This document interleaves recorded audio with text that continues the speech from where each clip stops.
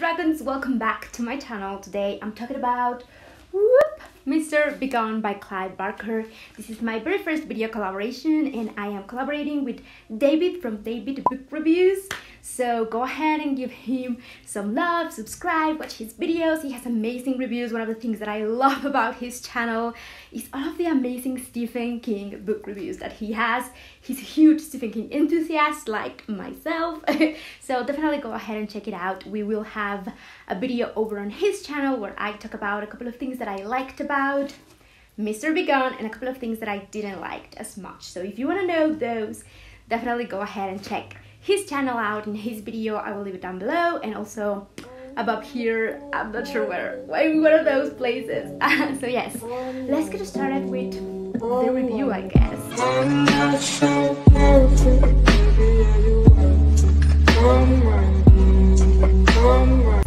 It's been a while since I've been reviewing like a specific book, but I definitely want to get back to it. I definitely need to read more to do that also.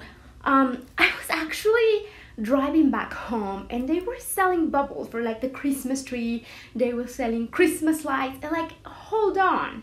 Halloween is not even over yet. Like we haven't even had Halloween and everyone's already like in the Christmas spirit. So please, everyone, stop it. Um, I, I am very much in the Halloween spirit as you can see. Uh, but let's talk about some Clive Barker, shall we? Mr. B Gone, I do have to disclaim first of all, it gets really gory and there are some very descriptive details. So if you don't love that, um, maybe this is not for you and okay look i am fine with some goriness into the story when it helps tells the story and move things forwards and it's important for the storyline i read a lot of stephen king and i'm fine with some of that but i feel like this goes over a line where it's a little bit way too descriptive. I wish that would have been toned down, but it is there in case you are like not into that at all and you hate that. Probably not the book for you. I do want to put that out there first of all. This book is such a unique thing. We are basically talking with a demon that is trapped within the pages. So you open it up, and the first thing is this demon telling you to burn the book, to not read, stop reading, stop it right now, go ahead and just burn the book. That is like the main thing throughout the whole thing. So you're talking with him, and eventually he tells you the story of how he goes into the book. We first get him on hell, the underworld. We see him go out of there, and then uh, his journey through Earth, which I wish it was a little bit stronger on there, like a longer part of the story. But we get to see a little bit of that and then the way that he goes into the book. So that is mainly what the book is about.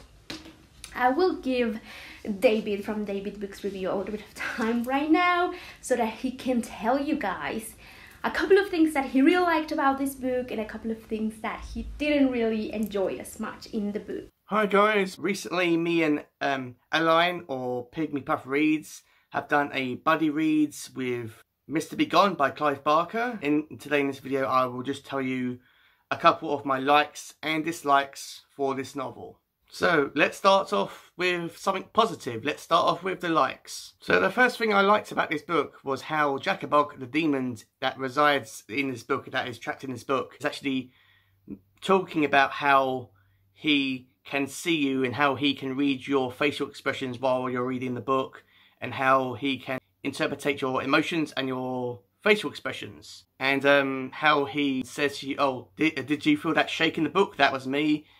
Or did you see the letters blurred? That was me moving you around. And how he um, tells you and actually convinces you as the reader that he is physically trapped within this book that you are reading. And the um, second thing I liked about this book is how engaged I was. Never before have I picked up a book before and I have been so determined to know what happens at the end. Because it's such a build up with um, Jakabok like uh, like uh, threatening you without um, not burning the book and actually releasing him and ending his torments. Because you want to know how it actually ends. You because he keeps on threatening you because you haven't burned the book yet. And never before have I come across a book where I have to know what happens at the end. I was like on the edge of my seat every time I picked it up. I was like I was actually saying to myself I have to know how this book ends. And um, for a book to be that engaging and wanted to me to get to the end, that's a massive achievement. So now we come to my dislikes for this novel. One of the main issues I had with this book is that it didn't seem to have a, a set destination or a set goal that Jakabok was actually going towards. You never knew where the story was going. You didn't know if there was a destination or an object or a achievement that Jakabok had to go to on on his journey throughout this book that he was telling you. And um, that was extremely frustrating. I was like, okay, I'm engaged with this book, but where is this going? That was kind of a confusing thing for me, but at the same time, I really liked the story, but I was like thinking, okay, where is this ultimately going? And my final dislike for the novel is that it jumps around a lot. Like when Jakabok's telling you about his life, he um, is uh, telling you all these events, and it kind of jumps from one scene to the next. Like, oh, he's going to this place with this person, or he's going to this per- um, place that doesn't seem to connect, and it seems to jump from situation and situation, or, or events, or random events in his life, rather than sticking to a linear story. And um, that was kind of frustrating uh, as I as it was jumping around a lot and I didn't know what to focus on. So let's go straight back to Pygmy Puff Reads where she'll be telling you guys the rest of uh, feelings towards this book. Oh my gosh, what do you guys think about all of those opinions? what do you guys think about David's um, things that he liked and he did and such an interesting stuff. I loved by reading with him because we had some different opinions on some characters. We had different perspectives and he had such different opinions about it and it was just so much fun to see his thought process while we were reading. So it was so much fun by reading this with David. Definitely, like I said, links down below so that you can check out uh, his book review and his channel out. I did really like this and I'm gonna tell you it goes and it grows a little bit, but sometimes it feels like it has no direction at all. You don't know, like, what is the end goal of this? Like, what am I even reading this for?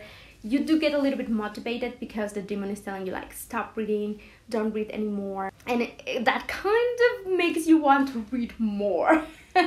or at least for me, like, if you tell me, don't read it, I'm gonna read it. So, yeah, it goes into bigger things I feel like the main point of this book and the author is really trying to make a distinction between religion or what he's taken to like actually be heaven and hell and then religion as an institution.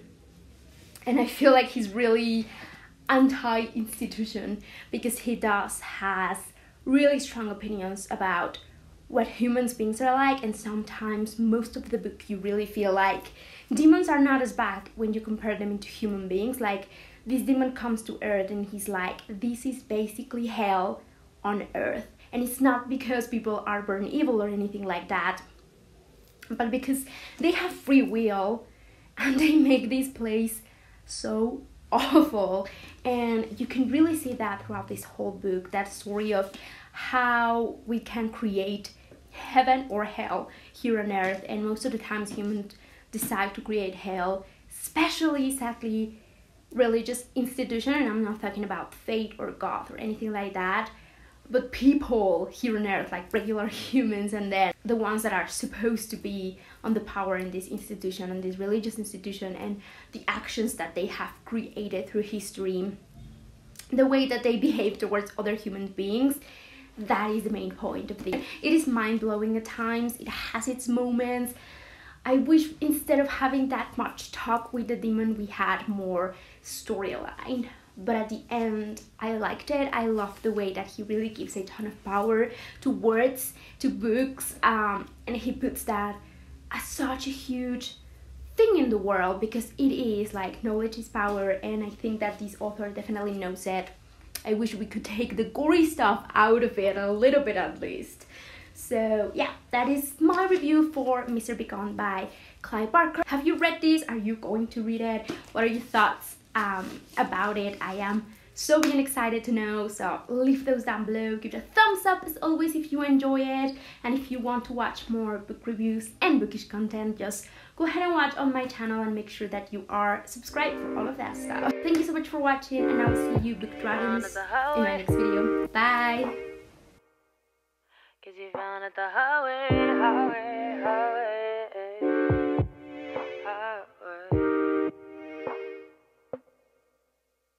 Remember when you saw me in the club, didn't show me any love? You was too busy popping bottles with the thugs. I know you was feeling.